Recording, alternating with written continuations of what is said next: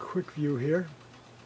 This will be a uh, tall vertical drawing. I've got a frame that the uh, this uh, drawing board will fit in.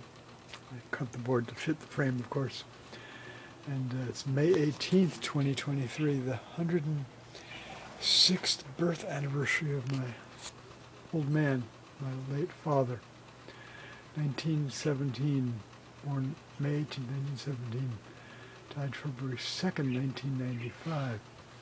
Okay, this is going to be a double portrait. I'm going to wait to uh, talk about the second portrait till after I've begun it.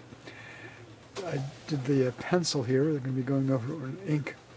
Gerda Taro, considered the first great uh, war subject photojournalist. She was born in Stuttgart, Germany in 1910 and uh, died at age 27, I believe.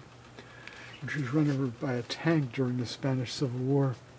Her uh, partner, boyfriend, was the late, great Robert Capa, founder of Magnum Photographs, Photography. He uh, covered the Spanish Civil War as well, and uh, World War II, and uh, Europe, and uh, the Israeli War for Independence in 48, and died covering the uh, French Indochinese War, kind of the French predecessor to what became the American Vietnam War.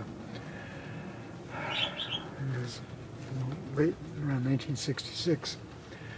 All right, uh, pencil, Gerda Taro. People can uh, look her up uh, online and her photographs. All right, to be continued.